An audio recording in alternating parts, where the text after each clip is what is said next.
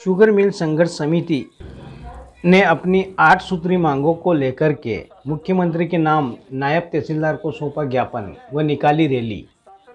आलोट नगर के बिट्ठल मंदिर मंगलवार को शुगर मिल संघर्ष समिति द्वारा पैदल रैली निकाल करके तहसील कार्यालय पहुँचे, जहाँ अपनी प्रमुख आठ सूत्री मांगों को लेकर के मुख्यमंत्री शिवराज सिंह चौहान के नाम ज्ञापन नायब तहसीलदार मुकेश सोनी को सौंपा गया। आपको बता दें कि ज्ञापन में बताया गया है कि ग्रामवासियों के आधिपत्य में कई वर्षों से चली आ रही कृषि भूमियों पर भूमि स्वामी स्वतः प्रदान करने की मांग की गई है।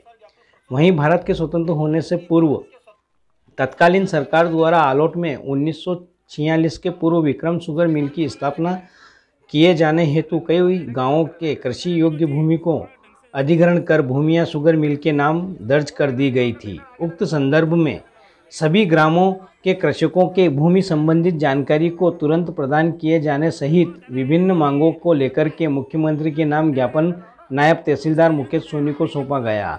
इस मौके पर विभिन्न गाँवों के किसान सहित बड़ी संख्या में मौजूद रहे। आलोट संवाददाता अतुल कुमार वर्मा की रिपोर्ट। किस विषय को लेकर आज आपने ज्ञापन दिया है?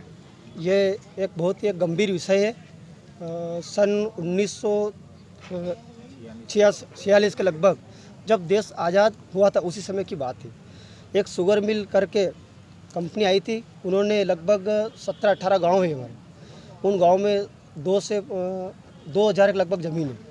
वो ज़मीन उन्होंने लीज पर रखी थी और कुछ मशीनें अपने यहाँ आ चुकी थी और जो मुख्य मशीन जो उनकी थी, वो लगभग उन्नीस सौ सैंतालीस में आने का था।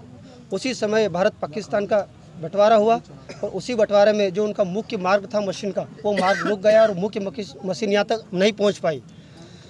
इसी समय वो शुगर मिल वाले यहाँ मिल नहीं डाल पाए और कुछ मशीनें यहाँ आ गई थी, वो यही इनकी सड़ गई है। और हुआ ये कि जो जिन किसानों ने ज़मीन दी थी, उनका मुआवजा भी नहीं मिला है। अब सत्तर साल से लगभग जो किसान है, उस ज़मीन पर खेती कर रहे हैं, बाकी उनको मालिकाना हक नहीं मिल रहा है। किसान को एक यूरिया की बोरी के लिए दर दर भटकना पड़ रहा है। और वास्तविक ज़मीन किसानों की ही है।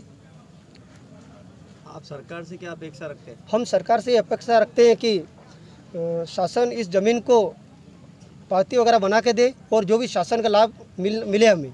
तो ज़मीन किसाने की ही है एक मजदूरी की तरह कार्य कर रहे हैं किसानों को कुछ भी नहीं मिल रहा है। लगातार कितने वर्षों से काबिज है उस ज़मीन पर? लगातार सत्तर से पिचहत्तर वर्षों तक। दो से तीन हज़ार विवाह होगा लगभग तीन हज़ार छः सौ लगभग।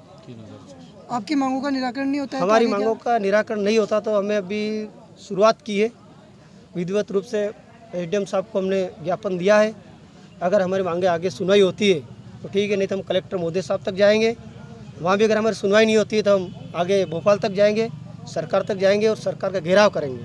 अगर वहाँ तक नहीं सुना जाएगा तो दिल्ली तक जाएँगे और और आंदोलन करेंगे। और इसका जवाबदार पूरी तरह प्रशासन रहेगा।